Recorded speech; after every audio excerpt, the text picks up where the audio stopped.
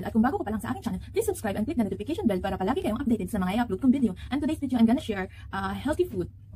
How to make zucchini fries. So let's get started. So I have zucchini. I wash it already. So we're gonna cut it like a fries. Mm, cut it up.